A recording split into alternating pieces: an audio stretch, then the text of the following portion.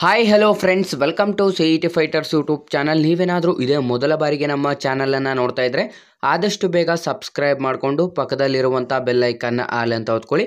ಬನ್ನಿ ಸ್ನೇಹಿತರೆ, ಇದೀಗ ಆರು ಸಾವಿರದ ನಾನ್ನೂರ ಆರು ಪಿ ಡಿ ಒ ಮತ್ತು ಎಸ್ ಡಿ ಹುದ್ದೆಗಳ ಒಂದು ಅಧಿಸೂಚನೆ ಮುಖಾಂತರ ಸಂಪೂರ್ಣ ಆದಂಥ ಮಾಹಿತಿಯನ್ನು ತಿಳ್ಕೊಂಬೋಣ ಈ ಒಂದು ವಿಡಿಯೋದಲ್ಲಿ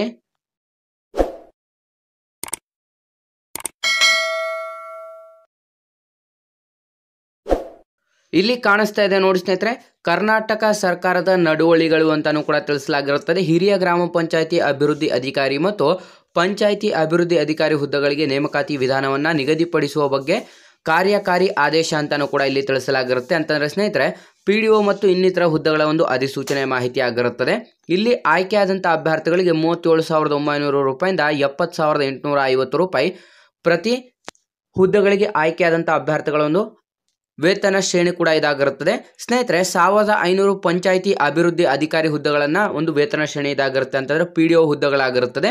ಇನ್ನು ಸ್ನೇಹಿತರೆ, ನಿಮಗೆ ನಾಲ್ಕು ಸಾವಿರದ ಐನೂರ ಹನ್ನೆರಡು ಇಪ್ಪತ್ತೊಂದು ಹುದ್ದೆಗಳು ನಿಮಗೆ ಕಾರ್ಯದರ್ಶಿ ಹುದ್ದೆಗಳಾಗಿರುತ್ತೆ. ಇದ್ರ ಬಗ್ಗೆ ಕಂಪ್ಲೀಟ್ ಆಗಿ ಮಾಹಿತಿಯನ್ನು ತಿಳಿಸ್ಕೊಡ್ತೀವಿ.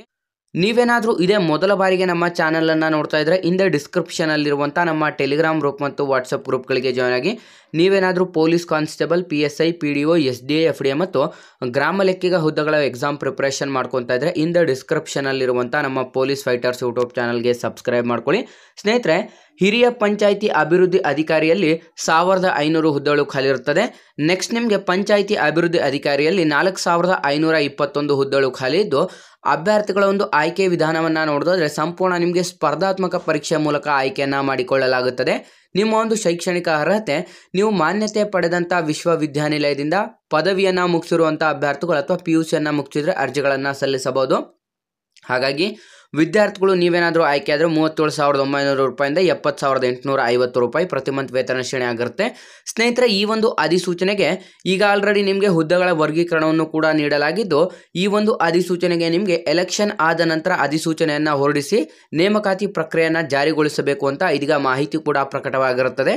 ಹಾಗಾಗಿ ವಿದ್ಯಾರ್ಥಿಗಳು ಯಾರೆಲ್ಲ ವಿಡಿಯೋಸ್ನ ನೋಡ್ತಾ ಇದ್ರ, ಇದೊಂದು ಸಂಪೂರ್ಣ ನಿಮಗೆ ಎಲೆಕ್ಷನ್ ಆದ ನಂತರ ಮುಂಬರಲಿರುವಂಥ ಒಂದು ನೇಮಕಾತಿ ನೋಟಿಫಿಕೇಶನ್ ಅಧಿಸೂಚನೆ ಆಗಿರುತ್ತದೆ.